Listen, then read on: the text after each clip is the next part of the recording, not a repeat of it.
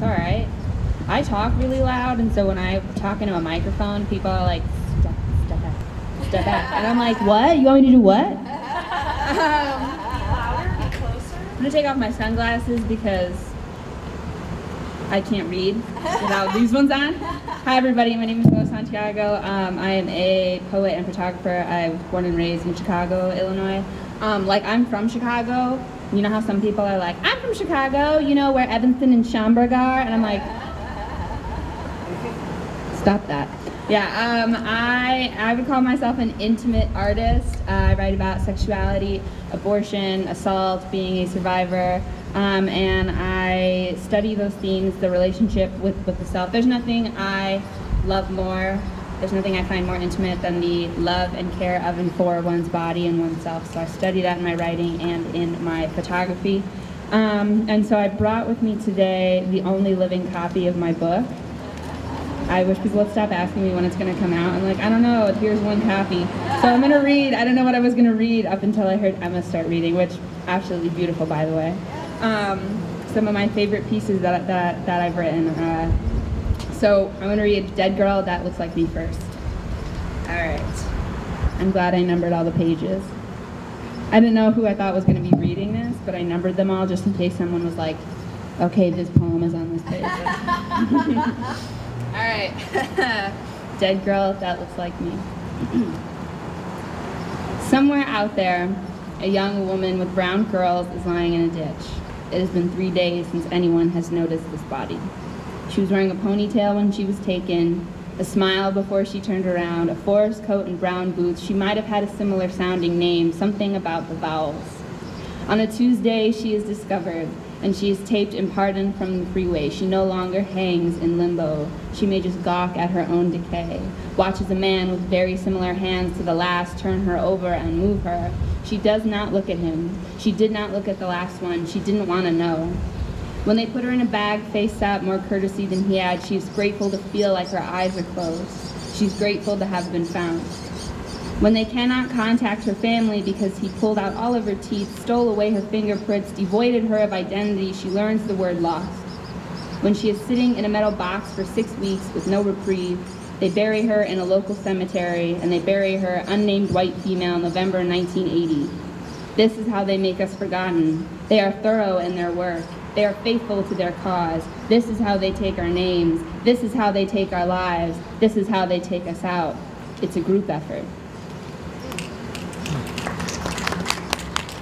Um, so that's the kind of artist I am. I like to be in people's faces. So my entire book is called I Could Be a Body and Other Delusions, and it studies my uh, experience as a two-time survivor of assault. I had an abortion, going through that. Um, and it also studies uh, the unnamed white female is actually from an article I read about someone that they found um, who was described to look just like me same details, and they found her in a ditch on the side of the road and they buried her like that. And so my book uh, honors all of those people, and I think it's my duty to make people uncomfortable while I'm alive um, because I'm also a spoken word teaching artist. I teach middle schoolers, and if a 12 year old can understand that we need to be having more uncomfortable conversations, I think a bunch of adults can too. So uh, that was that poem. um, I also understand if someone's like, I'm having some of my own trauma feelings and anxiety, so if you need to get up and take a moment, that's okay. Your feelings are about you, my feelings are about me. I understand you. Um, let's see. I will read a less depressing poem. Okay, I'm gonna read this one because it's really fun and I wrote it and the last time I performed it, um, I think was the only time I'd ever gotten to perform it. So this one's called Chivalry is Dead. Chivalry is dead. Obviously, women don't let men pick them up in their cars anymore. We could die in there. You think I want to take the bus? No. But you think I trust Jeffrey to get me there? Absolutely fucking not. People with his name have a history of eating people, okay? They should stop calling them trunks and rebrand as coffins already. But then Ford would really start to lose money on the escape, something I don't have a high statistic of doing successfully. I mean, no one wants to participate in murder capitalist America, but time is money, so they'll sell the cars anyway, tell you how nice it fits in the driveway, how much room you got in the trunk. I don't know, how many square inches does a body take up?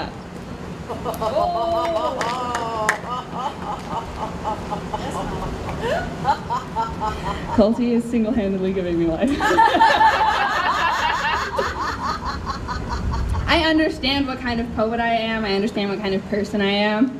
Um, yeah. okay, okay, okay, okay, okay. Um, I'm gonna read.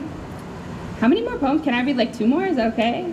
How do how do we feel? Audience check-in. Okay, okay. Time isn't real. Time is not real. Time is actually a complete social construct, and I talk about that with my students a lot. We read this poem that's in here called the Almanahe that studies um, time, like when the poem was written and then when I was assaulted.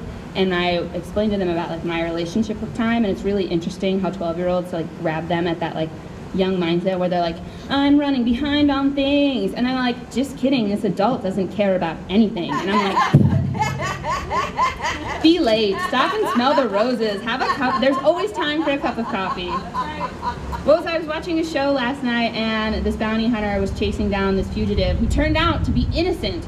Um, and she had like cuffed him to, to the bar, and he's like, "Let's have a drink." And she goes, "No, no, no, you're my bounty." And he goes, "There's always time for a drink." And I'm like, "I like this guy's mindset."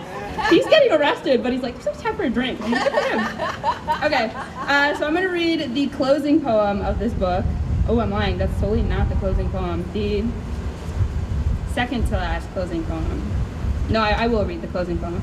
Uh, it's called I Would Like to Leave a Voicemail, which is part of a series of voicemails. Um, my, I was in London the second time I was assaulted, and so I went to this place called uh, The Haven, which is like their Planned Parenthood, but better because it's free for everybody, even if you're not from that country. Um, absolutely really beautiful, but I went, and it was the only time I'd ever got a kit done, and this woman, Rashida, like called me for two years straight, and I never answered. Um, so this is the very last poem in a series of them. It's called I Would Like to Leave a Voicemail. Hi Rashida, it's Mo. I wanted to ask you to destroy my samples if you haven't already. That's easier to type than it will be to say, which is why this isn't real. I guess. I'm sorry. I never answered any of your phone calls. I knew it was you. I was scared. I still am. I just didn't know how to be the girl who didn't report, especially because I had the power to do so. It's not nice having power like that, especially when you're scared. You can't always muster up that kind of courage, you know? People don't like people with power. And I don't even like the police in my country, let alone in another's. And it was the second time. I didn't know how to be the girl who got assaulted again. I was really scared then. I just wanted it to be over, to move on with my life. But you kept calling and I kept not answering. You called over the year mark. Why? Why did you do that? Keep my samples for so long. And why do you call them samples?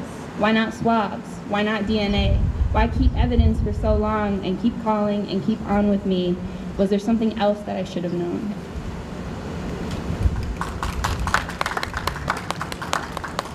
Um, I will read this last one, which is completely different from anything in here. So I am a white Latina. My mother's Irish. My father is Puerto Rican. I don't speak any Spanish, so I'm a bad Hispanic.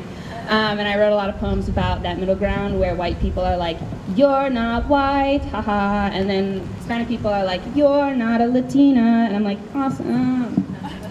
Uh, but uh, my mother enrolled me in Catholic school. I came from a poor family. I don't know why. I don't know how we afforded Catholic school for a single year, but I went to Catholic school and it was horrible.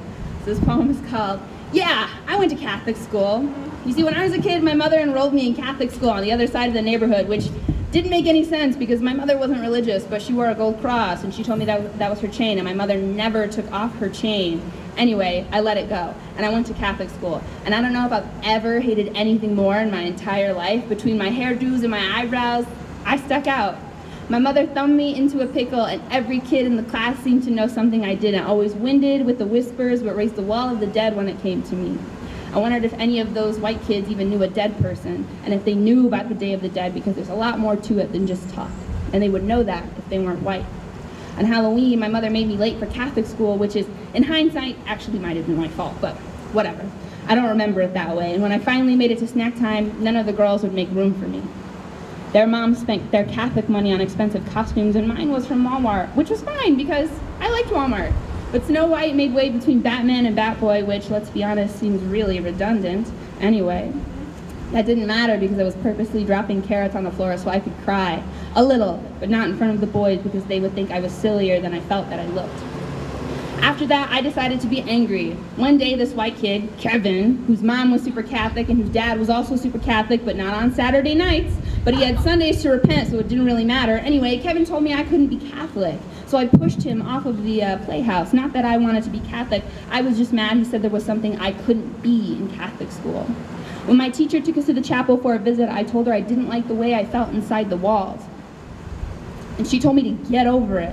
But that just made me really, really mad. So instead of getting over it, I cussed in the chapel and she made me sit down and told me I couldn't finish the rest of the chapel visit and that I was going to get an F. And then I had to explain to my mother that it was just a visit and why should I be graded for not liking something and for feeling uncomfortable. And I think that's where some of my trauma stems from. But that didn't even matter right now. I didn't even know if my teacher was a real nun or not. So why did it matter? And even if she wasn't a nun, could she still be my teacher because it wasn't Sunday school and I was pretty sure nuns only taught on Sundays. I knew that because my mother took me to Sunday school when I was in Camp Awana and I went, but I didn't really want to go. So eventually I stopped going. One day, my mother transferred me to public school. I wasn't exactly sure why, but I think it was because of the pushing and the cussing. Um, or maybe it was because of the unaffordability. Or that raged on my side of the neighborhood, and my mother thought Catholic school would have been better, but not good enough at cost. But anyway, one day, my great granny Annie, who was my grandpa's mom, who was religious, but my grandpa was not, my mother was not. My grandma might have been a little religious, so they asked her to take me and my great granny Annie to the church on Sundays. I didn't like the wines, and I didn't like the crackers salted in all the pews, but I still, and I still didn't feel like the way I felt inside the walls. And that's when I saw Kevin. You remember Kevin? You know the kid I pushed? I saw him and he volunteered to carry the basket around, but I didn't have any money, so he just gave me this dirty look. And I should have told Kevin that people at public school like me, which would have been a lie because even though I had hairdos and they had hairdos and our eyebrows were the same kind of thick and our skin was the same kind of dark, even though we were the same kind of Spanish, none of the kids were white. It didn't matter because they still didn't like me at public school. But Kevin didn't need to know that. But I should have told him, and I should have told him that the dead didn't care much for his walls, and I should have told him that I wasn't going to put him up on the ofrenda, even though I didn't know what that was. But I was hoping that if I didn't, that I would just forget that I ever went to Catholic school in the first place. Thank you very much. I'm gonna go sit down and drink some water because I get nervous speaking in front of people. Um, and now it's time for the amazing Colty.